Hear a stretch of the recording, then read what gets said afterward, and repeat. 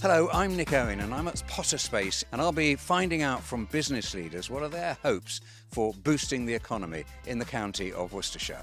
So if you can explain to us uh, who you are and where you're from and all that. Jason Rockett from I'm managing director director of Potter Space.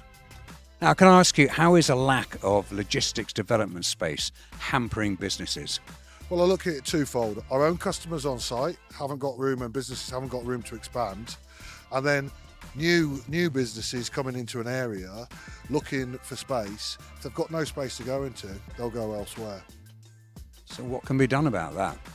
Well, there's got to be some joined up thinking from government down to local authorities to businesses like ourselves to work together to look at identifying sites for employment uses and bringing those forward to actually meet this suppressed demand that we're seeing at the present time.